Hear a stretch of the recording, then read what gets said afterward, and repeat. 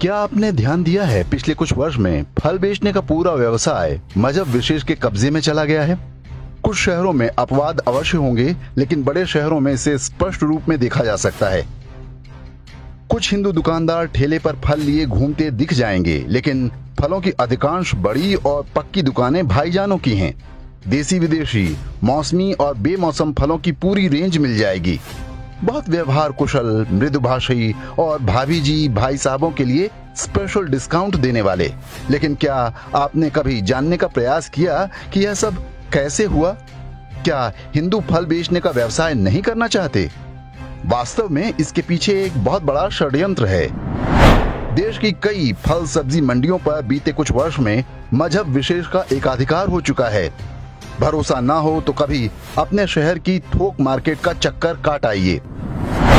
कारोबारी कब्जे की शुरुआत बड़े ही प्यार और भाईचारे के साथ होती है। मंडी में थोक कारोबार करने वाले भाईजान छोटे हिंदू दुकानदारों को उस भाव पर फल बेचते हैं जो भाव चल रहा होता है। लेकिन अपने मजहबी भाइयों के लिए थोड़ी कम कीमत लगा देते हैं। उन्हें इस नुकसान की भरपाई कैसे की जाती है, यह जाँच का विषय है। प्रभाव यह होता है कि एक ही फल मजहबी ठेले पर सस्ता और हिंदू के ठेले पर महँगा हो जाता है। ग्राहक को सस्ते से मतलब होता है और वह हिंदू दुकानदार को कोसता हुआ चला जाता है और भाईजान की दुकान से खुशी खुशी फल खरीद लेता है।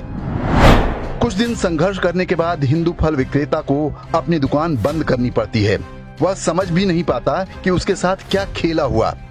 पड़ोस का विक्रेता नुकसान उठाकर फल कैसे बेच रहा है? जब एक बार उसकी दुकान बंद हो जाती है तो भाईजान के फल फिर से बाज़ार भाव पर आ जाते हैं।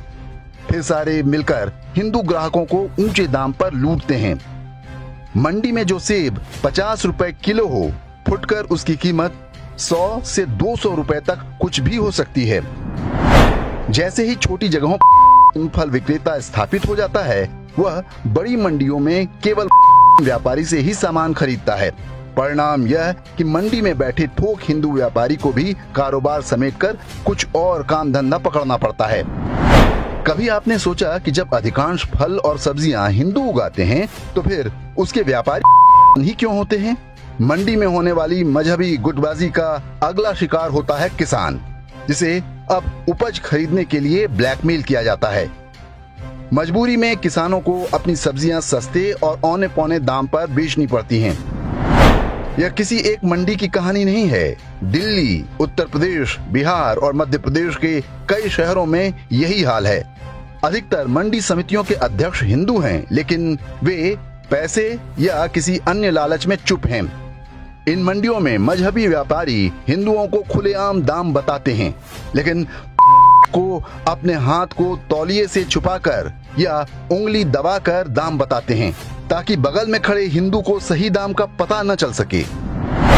बाज़ार में किसी भी तरह की एकाधिकार गतिविधि कानून की दृष्टि में अपराध है। सरकारों और सरकारी अधिकारियों की नींद जब टूटेगी, तब टूटेगी। इसे रोकने के लिए आप अपनी तरफ़ से शुरुआत आज से ही कर सकते हैं। कोई भी सामान अच्छी तरह देखभाल कर ही खरीदें। सस्ते के चक्कर में किसी गरीब की रोजी रोटी पर लात न मारें।